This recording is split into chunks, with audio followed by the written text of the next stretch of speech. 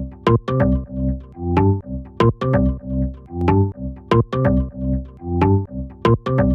you.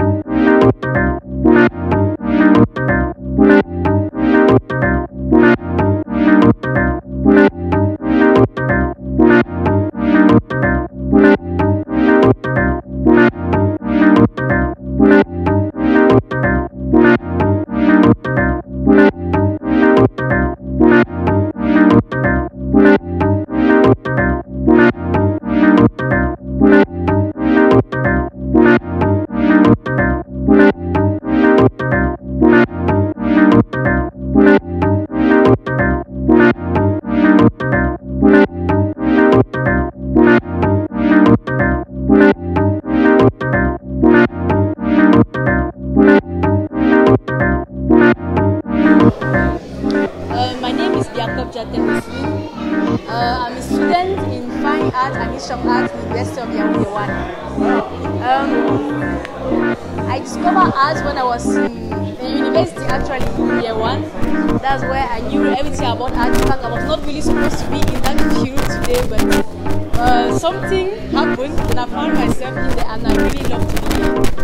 Um, concerning Don't Make Them Cry, and uh, the 8th of March, we choose the day of the 8th of March for this exposition because we think it's a day for women, not to just celebrate and uh, have fun, but also to think about the future, to think about what uh, they think they can put in place for a better country, our country, Cameroon. Women are supposed to also be leaders. We don't just have to sit at home and just be women's for the house. Anyway, just um, so concerning the exhibition, uh, we took two months to uh, prepare for it. two months, and uh, they were up and down as every association. We are a group that we, we came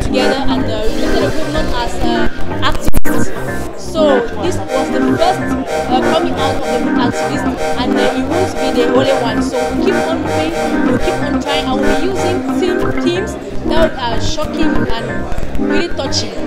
Uh, we want women, I personally, I want women to fight for their rights, to fight for what they want, to fight be somebody else than what people perceive in them, to fight to do what they feel like to do, to fight for people, for what they see around them to grow. They have to fight because they have, they have the power to fight, they have the power to, to